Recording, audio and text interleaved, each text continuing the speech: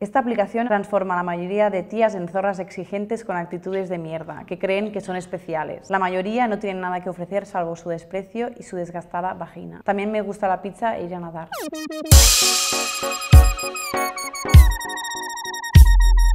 Soy Nuria Gómez Gabriel. Y yo soy Esther Ortiz. Estamos aquí para hablar de nuestro libro Love Me Tinder. Analiza un poco los discursos que hay detrás de los patrones de autorrepresentación masculina en Tinder.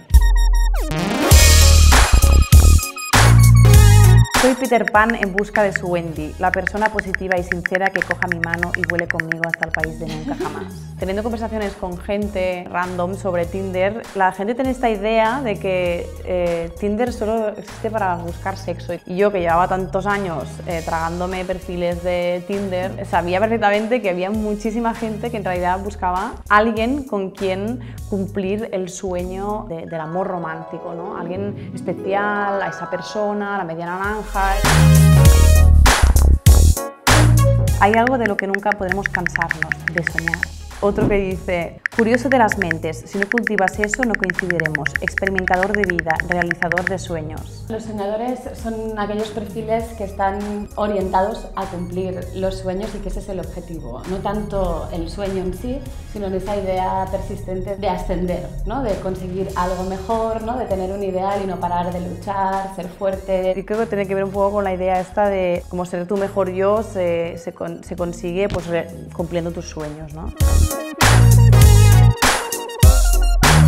Tengo 23 años y estoy aquí para conocer gente y a ver qué pasa. Me gusta ir al cine, salir, andar, ver series, viajar y pasar tiempo con la familia. Tengo el pelo y los ojos castaños, mido 1,79, mi peso es 71, mi cuerpo es normal, ni fuerte ni obeso. Gente que se define como una persona normal o que busca a una persona normal.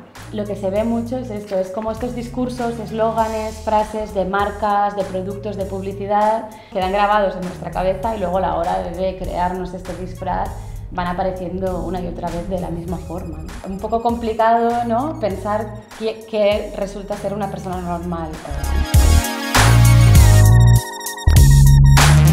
Si ya los tienes, acepto barco, pero yo no voy a cometer la locura egoísta de engendrar niños en este mundo de mierda, animales y naturaleza. Emoticono corazón. Quieren diferenciarse, quieren ser diferentes. La propia forma de diferenciarse ya está muy estandarizada, es decir, todo el mundo se diferencia de la misma forma, ¿no? Lo más valorable en una mujer es su inteligencia. Si no la tiene, será perfecta. Los alpha male son chicos que el, el, hecho de estar en una aplicación y ser objetualizados, bueno, pues el hecho de estar en Tinder es como que los descoloca y se sienten violentados de alguna forma. ¿no? La forma de describirse, digamos que proviene de esta sensación de incomodidad y de violentamiento, ¿no? pero obviamente hay cosas que son muy fuertes. ¿no? no alentamos a no usar Tinder, queremos que hay formas de usarlo de una forma mejor. Nosotros aconsejamos que, se priorice la calidad, ¿no? la calidad de las conversaciones, la calidad de las elecciones. En vez de ponerse a swipear y conseguir 20 matches, solo hacer cuatro matches, no, no vuelve a swipear hasta que consigue, ya, pues ya ha quedado con esas chicas o, o sea, es lo decir, que sea. una gestión acotada. Es ¿no? decir, claro, poner unos límites, poco ¿no? y bien y no mucho y mal, que es lo que promueve la aplicación, ¿no?